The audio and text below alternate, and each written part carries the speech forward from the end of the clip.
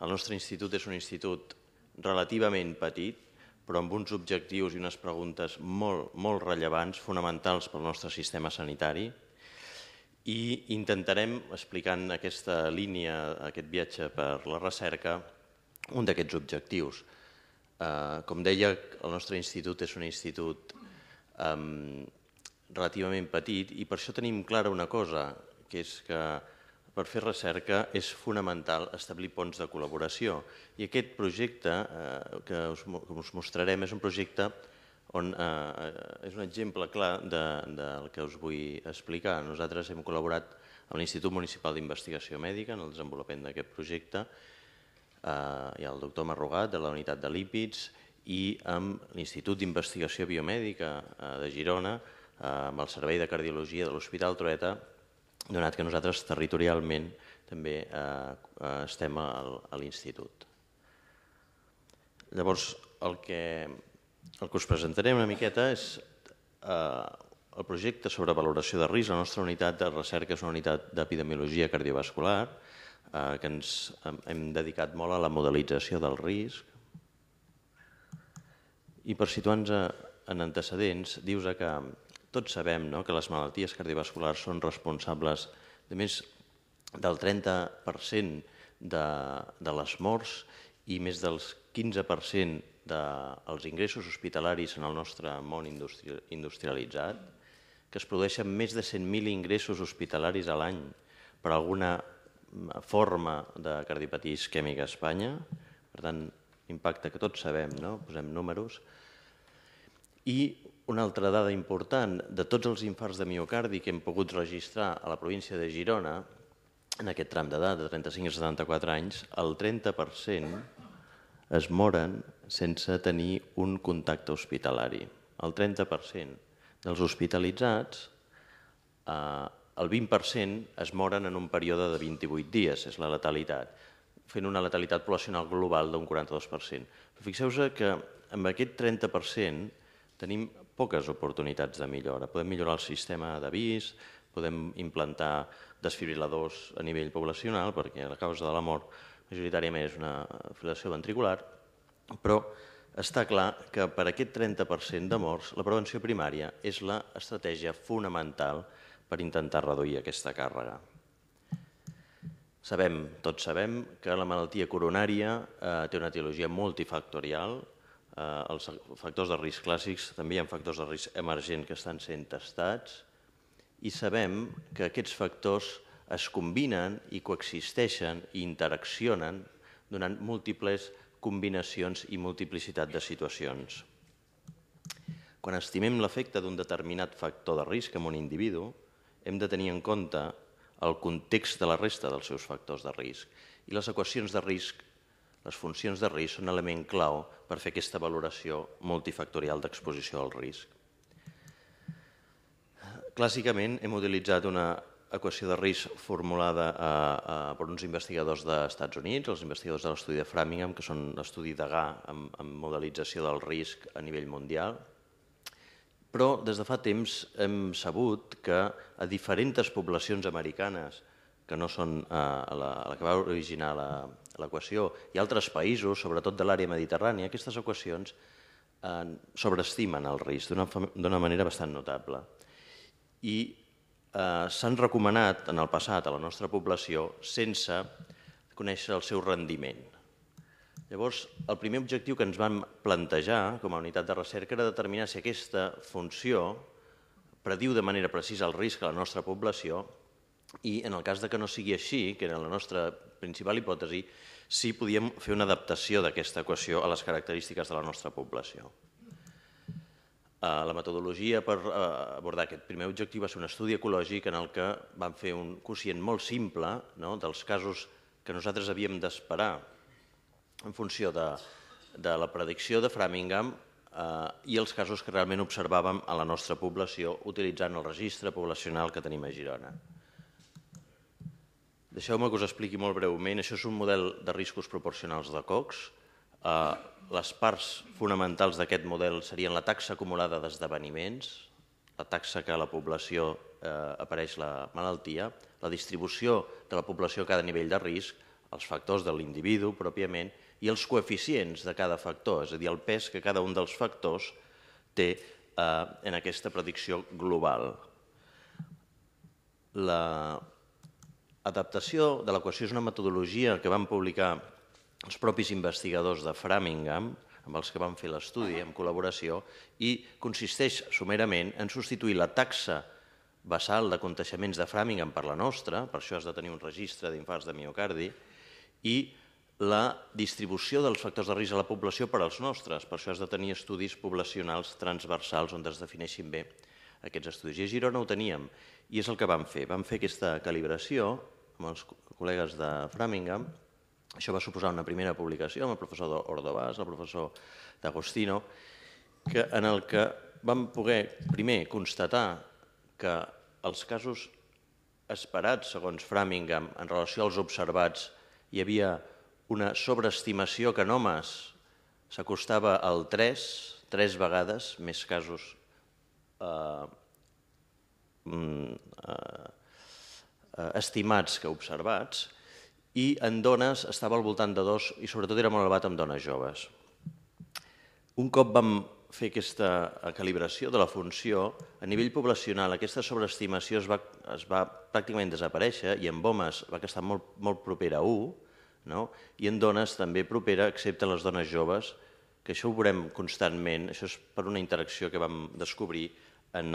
l'efecte del tabac i l'edat. Les nostres dones joves fumen i no tenen esdeveniments, les dones eh, grans no han fumat mai i eh, sí que presenten alguns esdeveniments. No? Segurament quan les nostres dones fumadores es vagin fent grans, si no fem res per canviar-ho, aquesta interacció desapareixerà. Llavors, amb la calibració, amb l'adaptació, vam fer una segona publicació en la que vam presentar les nostres taules de risc, eh,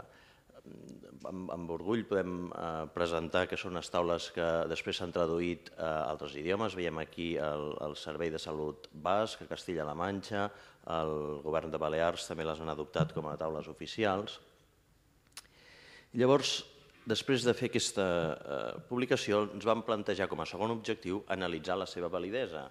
donat que eh, era un requisit que pensàvem que era molt important de cara a poder fer una recomanació en ferm. Llavors vam eh, analitzar si aquestes taules predeien de manera correcta la incidència acumulada a 5 anys i per això van dissenyar l'estudi Verifica, que molt somerament us diré, aproximadament són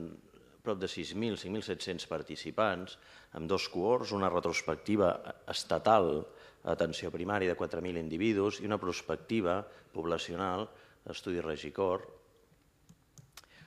Són gent en el rang d'edat de la predicció del risc, amb totes les dades per calcular el risc, lliures, evidentment, de, de malaltia, i en el que vam fer un seguiment a 5 anys d'esdeveniments coronaris. La metodologia de validació es composa de tres passos. Primer, comparar els coeficients, aquell pes que té cada, cada un dels factors, analitzar la capacitat de discriminació, això es fa eh, analitzant l'àrea sota la curva de les dues funcions, això el que ens ve a dir és la, les funcions ordenen de la mateixa manera els individus, els ordenen millor, i per últim el calibratge, validar el cali la capacitat de calibratge que té, això vol dir que si en un grup poblacional esperes un 10% d'individus, quan ha passat el temps, eh, un 10% d'individus amb esdeveniment, quan ha passat el temps, tens eh, aquest resultat. Els estudis els vam tornar a publicar amb els companys eh, de eh, Framingham i en el primer lloc veiem que quan comparem els coeficients del millor model possible amb les nostres dades i el model de Framingham original, o el que és el mateix en quant als coeficients a la nostra adaptació, veiem que cap coeficient té una diferència estadísticament significativa. Això passa amb homes i passa amb dones excepte pel tabac,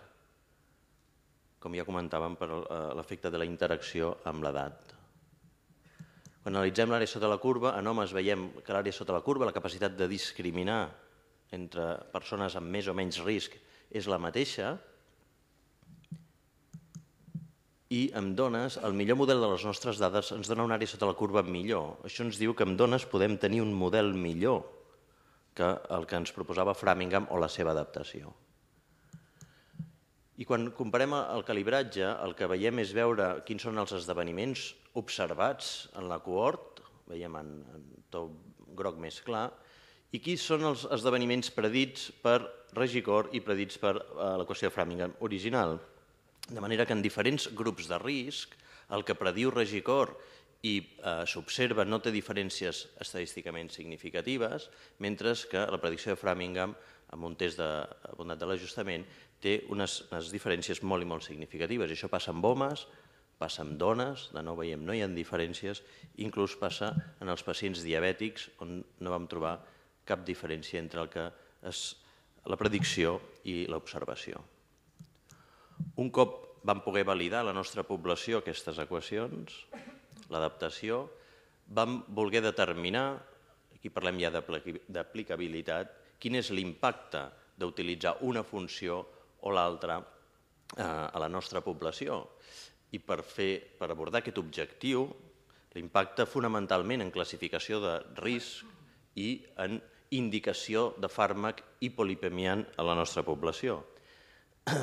Per, fer, per abordar aquest objectiu vam agafar dos mostres professionals i els vam calcular el risc utilitzant les dues funcions i vam comparar com es classificaven aquestes poblacions per una equació i per l'altra i quines indicacions de tractament es faria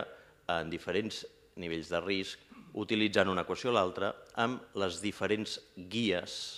que teníem al nostre abast, guies de pràctica clínica. I això vam tornar a, a publicar i el que vam veure va ser que la funció calibrada classificava en un grup de risc inferior, això seria la classificació feta per Framingham, doncs a la majoria d'individus que Framingham classificava amb un eh, nivell de risc, l'equació adaptada els classificava en el nivell de risc inferior. Inclús alguns d'ells els classificava en dos, en un, dos nivells de riscos inferiors. I això passava amb homes, passava amb les dones, i passava també en els pacients amb diabetes. Quan analitzàvem la implicació que això tenia en, en la indicació de tractament hipolipemiant, ens adonàvem que el factor que més efecte tenia era el tipus de guia que utilitzàvem.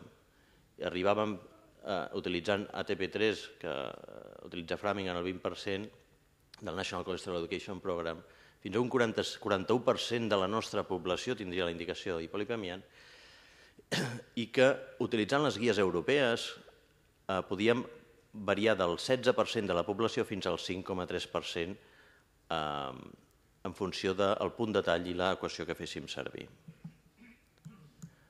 Per tant, les conclusions d'aquest viatge per la predicció del risc que eh, hem anat generant és que clarament la funció de Framingham sobreestima el risc a la nostra població, que la funció de Regicor prediu d'una manera correcta la incidència d'esdeveniments coronaris eh, en aquesta població en aquest període de temps, que la funció de Regicor adjudica una categoria de risc inferior en prop del 90% dels homes i el 50% de les dones d'aquest tram d'edat i que, per posar un exemple, si utilitzem la guia europea amb un punt de risc del 10% a 10 anys, la funció de Regicor, hauríem de tractar el 9% de la nostra població, no diabètica, estem parlant aquí de, sense tenir en compte els diabètics, lluny del 16% de la nostra població que eh, seria candidat a tractament utilitzant Framingham. Els resultats que hem obtingut amb aquest projecte són congruents amb l'observació